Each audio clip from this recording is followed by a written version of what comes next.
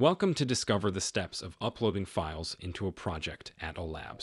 Firstly, you can click on the Projects button present on the left. After clicking the file you chose, you can select the related project. When you select it, you can see the source files.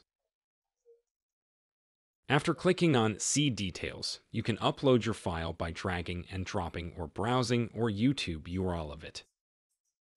As an example, if you choose to add the YouTube URL of the file to upload, you can see the process on the next screen.